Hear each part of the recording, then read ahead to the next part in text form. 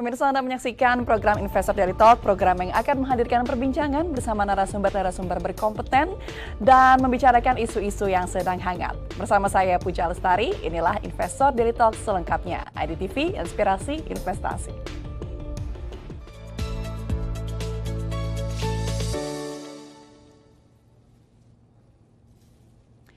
Pemirsa, tentu dalam rangka mendukung pertumbuhan ekonomi yang stabil dan berkelanjutan, diperlukan stabilitas makroekonomi. Untuk mendukung upaya tersebut, pemberdayaan sektoril, khususnya pengembangan sektor usaha mikro, kecil, dan menengah menjadi salah satu prioritas utama. Di sisi lain, Menteri Koperasi dan UKM mengatakan saat ini Indonesia masih